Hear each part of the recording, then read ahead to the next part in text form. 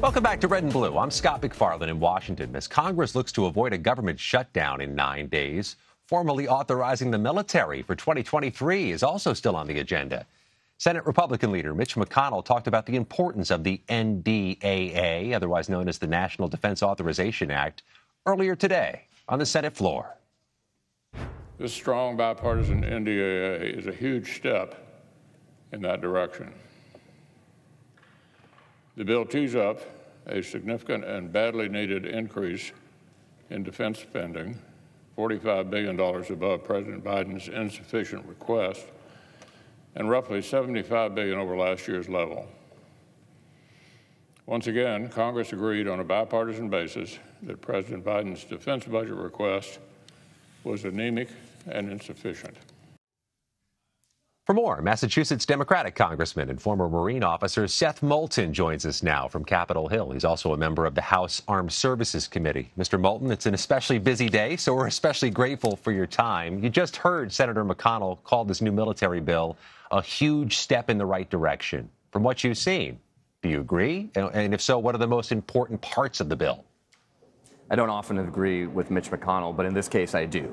It's not perfect. I have plenty of objections. There were important provisions, such as protecting our Afghan allies, uh, that I had included in the House version of the bill that were then stripped out of the Senate version. So it's not perfect. I don't love it, but it absolutely moves the ball forward, and it's the right thing to do for our troops, and that's why I look forward to voting for it later today.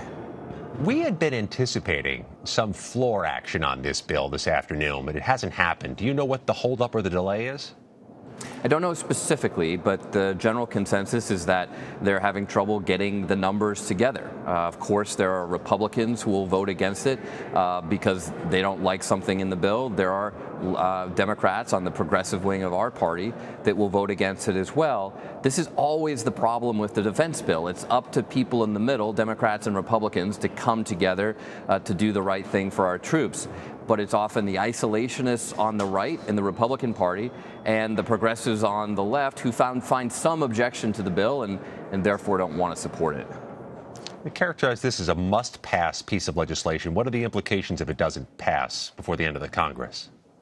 Well, first of all, let's talk about what it means for our troops. This bill includes important provisions uh, to raise pay and benefits for our troops at a time when inflation uh, is a huge issue for all Americans. It modernizes our defense in important ways to meet the threat rising the Pacific of China. I was just in Taiwan two months ago. And the threat from China is real, and our military commanders want new resources to meet that challenge. If we don't pass this bill, they won't get them. And ultimately, that means that Americans may lose their, lose their lives fighting a war that we should be able to prevent with the right preparations. Obviously, the Defense Department has been doing a lot to support the war in Ukraine.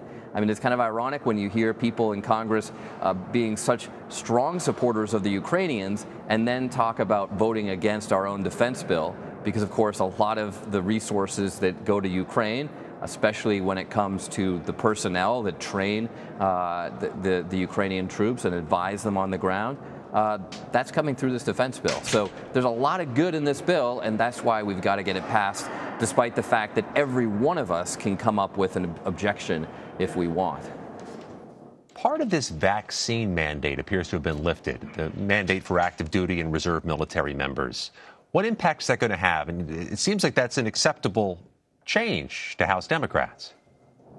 Well, I don't know that it's acceptable in the in the grand scheme of things um, because I think it sends a mixed message to our troops. Uh, we mandate all kinds of vaccines in the military that are scientifically proven.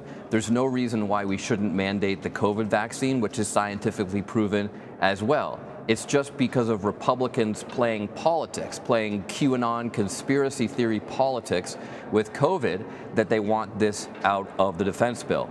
But this is one of those tough compromises that we have to be willing to make in order to get the bill over the finish line. My hope is that the Department of Defense will revise the vaccine mandate to make it clear that there's a set of vaccines that apply across the board to everyone in the military, not just the COVID vaccine, but plenty of other vaccines that have been required for a long time, and that should be clarified by the Secretary of Defense in the future.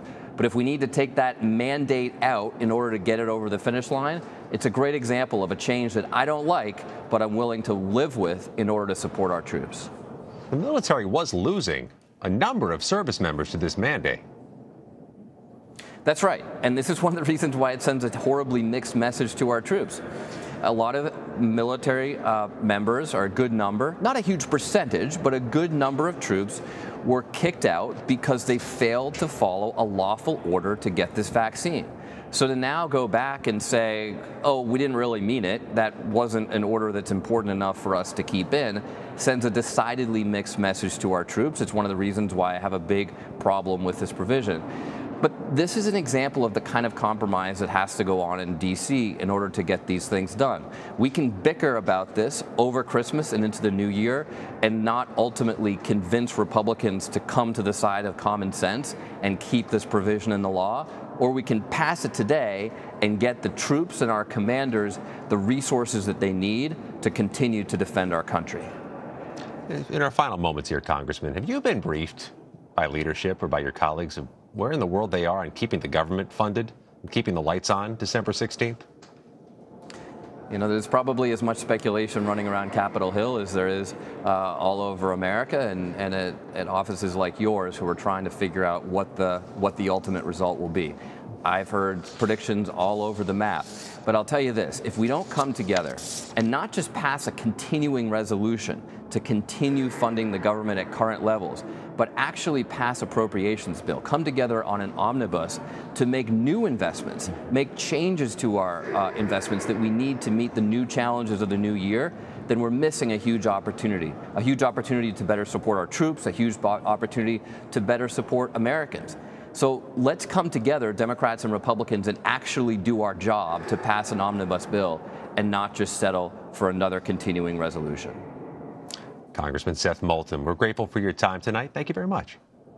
Great to see you.